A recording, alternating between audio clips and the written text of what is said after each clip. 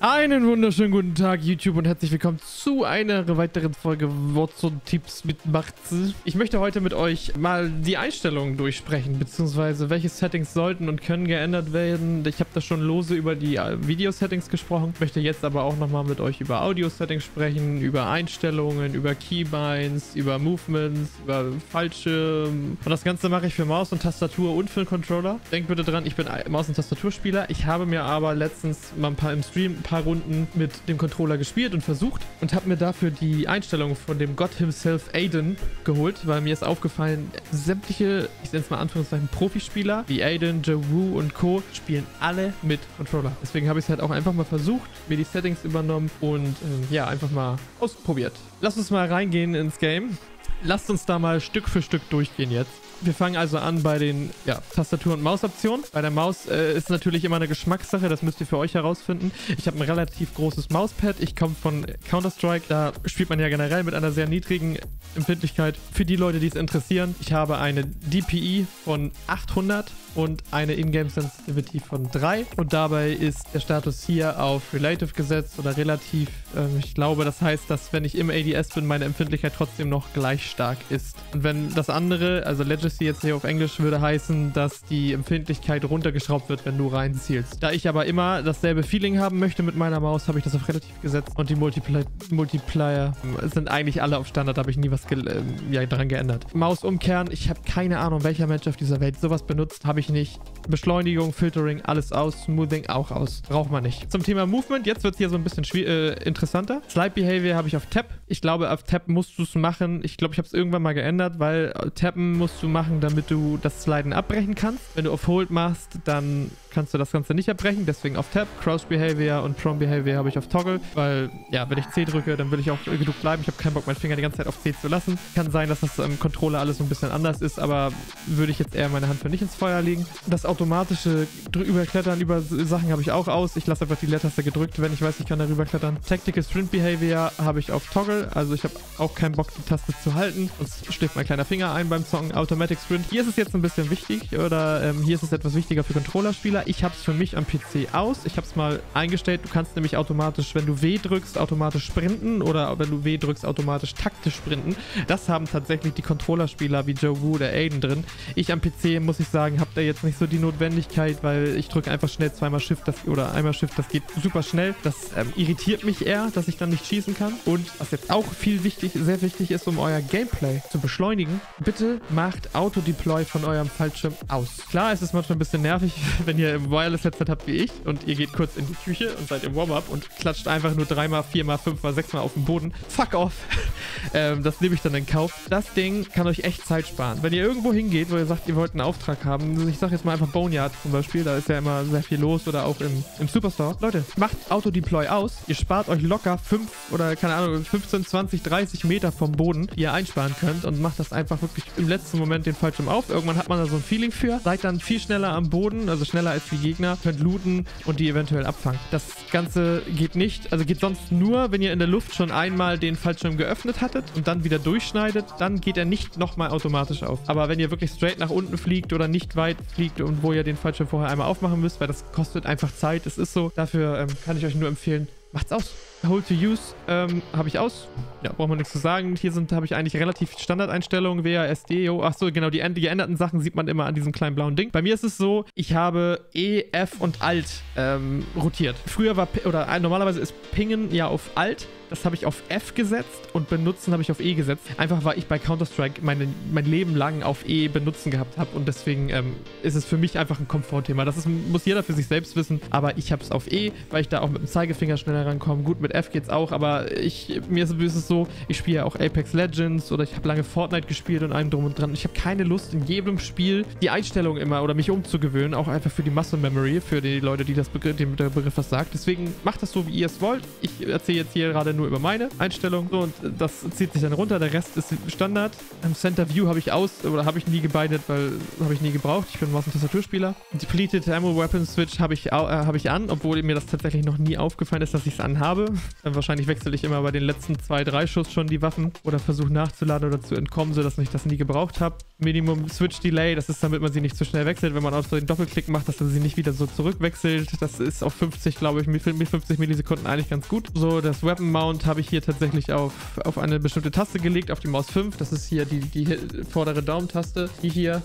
Da komme ich aber auch gleich noch zu, kommt hier unten noch. So, beim Dranzielen habe ich auch Toggle da gibt es genug Spiele, wie beispielsweise auf Fortnite, wo du gedrückt lassen musst oder wo du es von standardmäßig gedrückt lässt. Äh, ich bin kein Fan davon, weil ich drücke lieber einmal drauf und konzentriere mich dann ganz, klingt jetzt vielleicht komisch, aber ich konzentriere mich dann mit der Hand gerne ganz aufs Zielen und nicht irgendwie mit einem Finger noch auf die Maus gedrückt zu lassen. Das ist auch so ein Feeling, muss jeder für sich wissen. Die anderen Sachen sind auch alle Standard, Standard, Standard, Standard. Equipment Behavior, so wie beispielsweise äh, C4 oder eine Granate habe ich auf Hold, weil man dafür einfach dann das bessere, ein besseres Feeling hat. Hier unten ist es auch alles Standard. Weapon Mount habe ich tatsächlich letztens weggemacht. Das muss ich hier auf Maus 5 wieder binden. Habe ich jetzt gerade gemacht. Da ist es auch standardmäßig drauf. Ich habe es letztens unbindet, weil ich wusste oder weil ich äh, Discord war und da habe ich dann Push to Mute drauf gehabt. Also alles gut. Burst, äh, Alternate Fire Modus auf B, auch ganz normal. Melee, Finish im Melee habe ich auch auf der Daumentaste, also auf dem hier. Also hier ist Mountain von der Waffe und hier drauf ist, ist.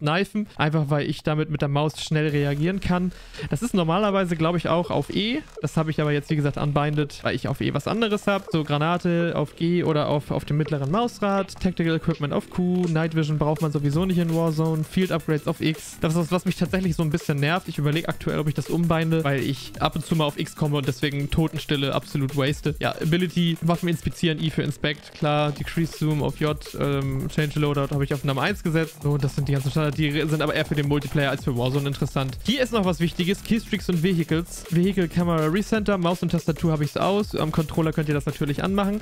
Armor Plate Behavior. Macht das bitte auf Apply All. Ihr könnt das nachher abbrechen, wenn ihr eventuell 1 drückt oder Waffenwechseln drückt. Aber so an sich wollt ihr ja immer alle Platten aufladen. Macht es lieber so rum, als wenn ihr immer wieder, besonders auch am Controller, immer wieder auf, auf Auffüllen drückt. Weil ich glaube, ihr müsst Dreieck gedrückt lassen oder am Xbox Controller eben die Y-Taste. Und ähm, ja, das kostet euch einfach Zeit. Deswegen immer auf Apply All. Die verschiedenen Killstreaks sind auch für Warzone relativ uninteressant. So, dann kommen wir zu den Overlays. Die sind auch relativ uninteressant. Inventory auf Tab habe ich auf Hold. Die Map habe ich auf Toggle, auf M, äh, dass ich M und M drücke, weil das ist so weit weg vom, vom Daumen oder von der anderen Hand, dass ich immer einfach kurz drauf drücke M und wenn ich es nicht mehr brauche, wieder ausmache, bevor ich dann irgendwie M gedrückt lassen muss. Oft sprintet man dabei auch weiter. Dann muss man die Hand nicht so verbiegen. Ich glaube, das ist verständlich, was ich da mit meine. Also M für Map, ja, Tab für Score und, und, und die ganzen Sachen. Ping habe ich, wie gesagt, auf F gesetzt, habe ich auch eben schon erklärt. Und den Voice-Chat habe ich standardmäßig auch auf V. Hier kommt noch eine spannende Sache. Es ist nämlich so, wenn ihr auf PC-Seiten euren Loadout holt und auf standardmäßig ist hier zum, auf den nächsten Tab springen, kannst euch jetzt mal mit Q zeigen. Siehst du, er wechselt die Tabs und wenn ich jetzt R drücke, geht er halt in die andere Richtung. Und bei mir ist immer das Problem gewesen, ich wollte mir den Loadout holen und im E habe ich natürlich auch benutzen und den nächsten Tab. Ich lasse E gedrückt und er springt dann immer automatisch auf die anderen, also auf die, die vorgefertigten, Cust äh, nicht auf die Custom Loadouts, sondern auf die vorgefertigten Loadouts. Und deswegen habe ich das irgendwann einfach mal auf R getauscht, damit er nicht immer rüberspringt, damit ich schneller meinen Loadout nehmen kann. Ja, bei allgemein Field of View habe ich auf 120 und ADS Field of View habe ich auf Affected. Dadurch, durch Affected ist es so, wenn ihr ranzoomt, behält er euer, ähm, euer Field of View bei. Dadurch ist der Rückstoß der Waffe einfacher zu handeln. Kleiner Pro-Tipp von mir. Und Field of View habe ich auf 120, einfach weil ich dadurch mehr sehe, mehr im Umfeld. Es gibt viele Leute, die kommen damit nicht zurecht, denen wird vielleicht auch schlecht dabei. Konsolenspieler können es leider sowieso nicht ändern, aber bleibt gerne oder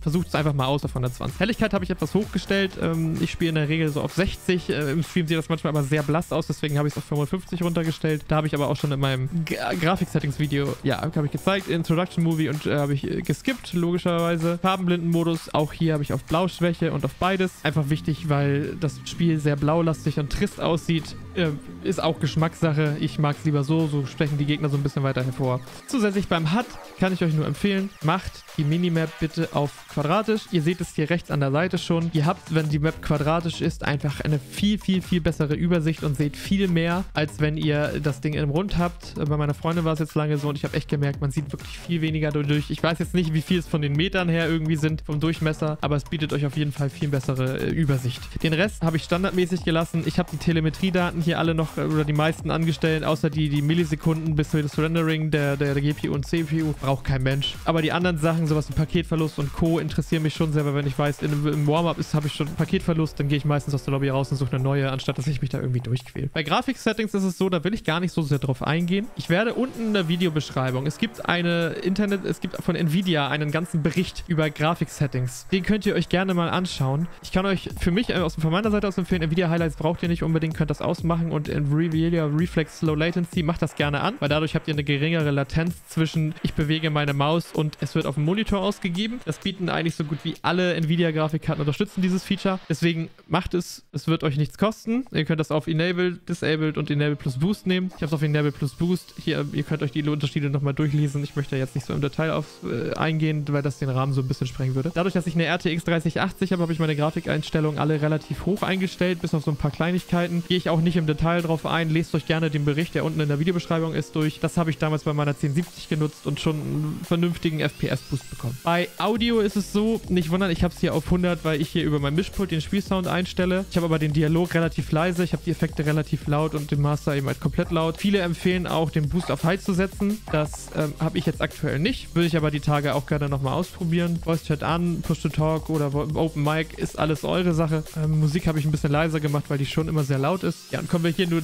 zu den Controller-Einstellungen. Hier habe ich statt Default die äh, taktische Variante genommen, einfach weil ich beim Schießen dann auch gerne crouche und deswegen dem rechten Stick eben den Ducken habe und ähm, auf B ist eben Kneifen, das ist sonst andersrum. Dann haben wir auch wieder den, den Vertical Look habe ich auch ausgestellt. Die Dead Zone habe ich von Aiden übernommen. Die Empfindlichkeit habe ich auch von Aiden übernommen. Sie ist okay. Sie ist, also du bist schon flink schnell unterwegs. Also wie hoch geht das eigentlich? Insane, okay. Nee, also ich kann euch empfehlen, 7 ist schon, ihr kommt schon, könnt euch schon schnell umdrehen. Wenn ihr ranzoomt, habe ich hier die ADS Sensitivity schon so ein bisschen runtergestellt. Der Aim Assist unterstützt euch auch so ein bisschen dabei. Deswegen 7 ist schon in Ordnung. Auch für mich als Nicht-Controller-Spieler komme ich da sehr gut mit zurecht. So, Controller-Vibration ist auch so eine Geschmackssache. Ich habe es an. Viele Leute irritiert Die haben es aus. Ich kann es euch empfehlen. Lasst es gerne. Äh, es ist eine Geschmackssache. Wenn ihr wirklich serious spielen wollt, macht es aus, weil es irritiert wirklich. Bei Rocket League beispielsweise habe ich es auch aus, weil man das Feeling im Controller nicht so richtig hat.